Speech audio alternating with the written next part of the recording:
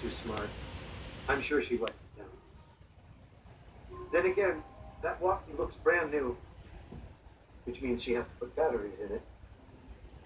You did remember to wipe the prints off the batteries, didn't you, Natasha? All right, that's it.